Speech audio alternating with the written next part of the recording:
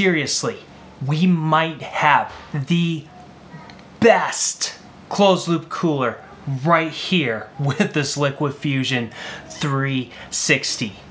I still haven't determined if it's just Lick Fusion or Liquid Fusion, but I'm gonna say Liquid Fusion because it just sounds better than just licking. Hey guys, Hardware Hound here, and I am back with another CPU cooler review. And so yeah, the Enermax LiquidFusion 360 is designed to be pretty hardcore high-end CPU cooling. And quite frankly, guys, it is not going to disappoint. So we're gonna get right to those testing results, but let's go ahead and cover a couple of things first. So install process is the one thing that is the black mark on this cooler.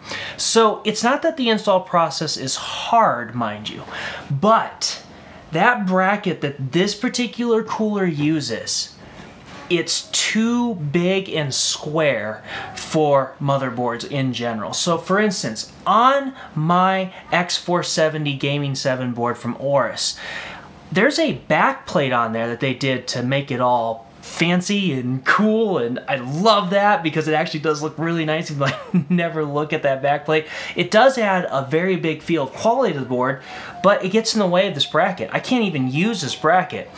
Um, so that's kind of a bummer for my particular chipset. Now I've got a workaround on there, but um, one of my other reviewers over at Hardware Hounds, he tried it out and he actually grounded out the VRMs on his motherboard. Like he thought he blew up his system. Now, thankfully, he didn't. Everything was fine. But this bracket can actually hit the solder points on the back of your motherboard, and that's very dangerous. And I wish Enermax would just change the bracketing system somehow, if they can. But outside of that, I've got a method of how I've used um, how I've gotten around that with the AM4 bracket by just buying some four screws at a hardware store. I'm going to show, I'll just link that video in the description below. This is exactly the same as LiquidFusion 240, so I'm not going to redo that. I just wanted to reiterate that bracket problem because I do see that as a very serious issue. But it's one that if you just use some protective measures you can get around, but you shouldn't have to do that with a CPU cooler. Now, that being said, let's go ahead and move on to some lighting effects real quick and see how this baby looks.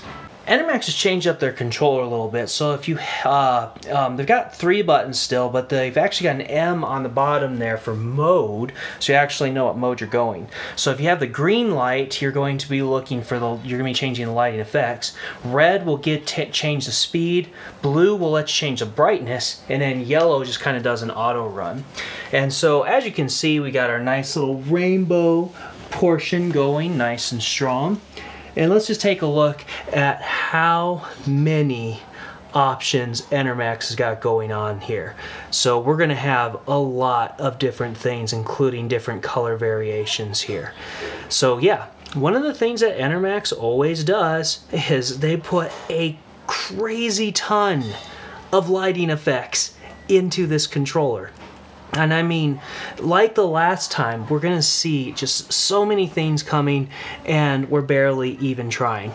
And so we already got back to the beginning, which I'm really surprised about actually. But um, still, that was a decent number of coloring effects. So yeah, very, very interesting. Also, guys, take a look.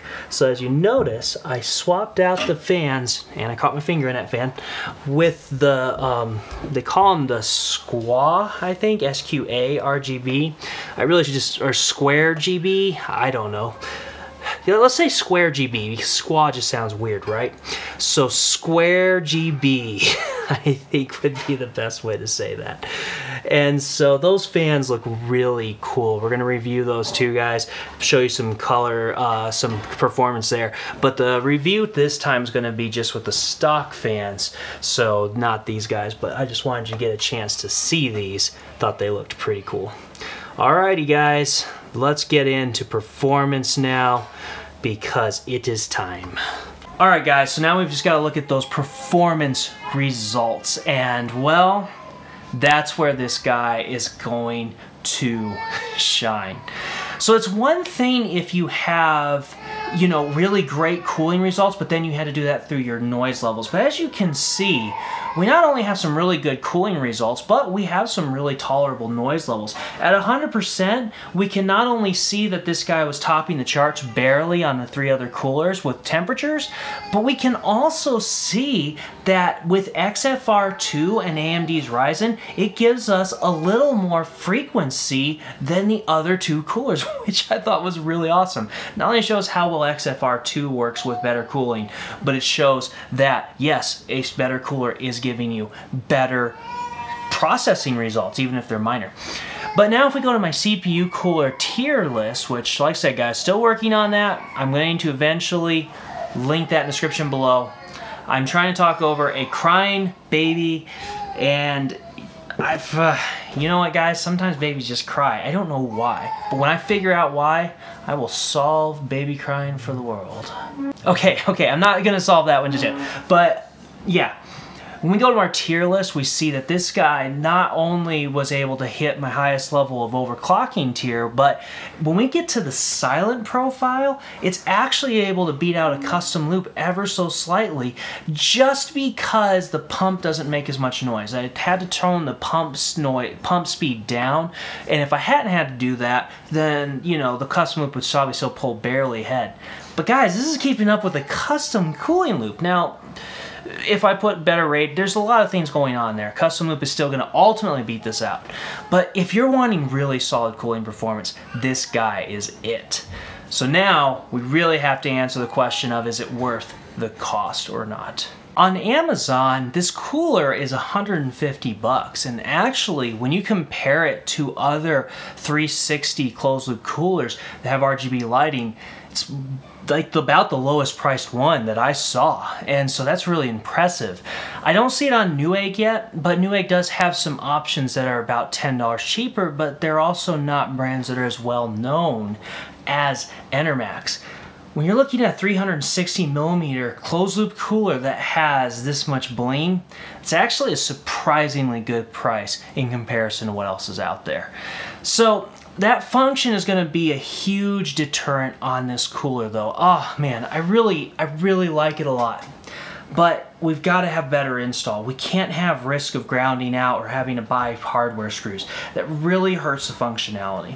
But it's got amazing, great style, and it definitely has great performance. And I'm gonna have to say it's a great value because Enermax doesn't just have a good price, it actually has amazing quality.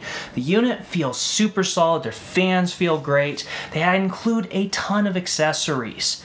So I'm not gonna be able to quite give it a must-have award, but yes, we're gonna have a great style, a great performance, and a great value on awards. So three good awards on it, still a decent CPU cooler.